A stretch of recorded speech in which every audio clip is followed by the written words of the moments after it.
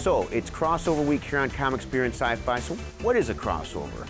Well, crossovers aren't really anything new. From Frankenstein meets the Wolfman to King Kong versus Godzilla to Alien versus Predator, creators have always known that if you take two beloved characters and put them together, it's going to mean hopefully box office magic. The comic book world was slower to catch on, as although Batman and Superman began sharing the comic book world's finest in 1941, they never actually appeared in the same story until issue 71 in 1954.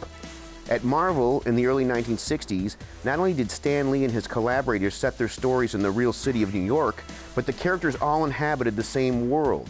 Therefore, in Amazing Spider-Man number 1, Spidey tries to join the Fantastic Four. And in another Fantastic Four issue, they were recruited to fight the Hulk. And eventually, of course, as we know, a whole group of Marvel characters formed into the Avengers. Of course, this made it possible for various characters to team up with other characters and fight other characters' villains.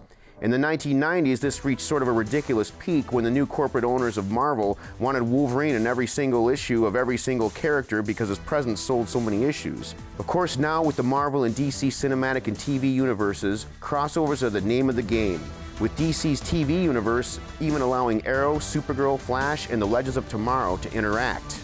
And so it appears there's never been a better time to be a geek, as all of our characters are now in the same worlds and able to interact with one another.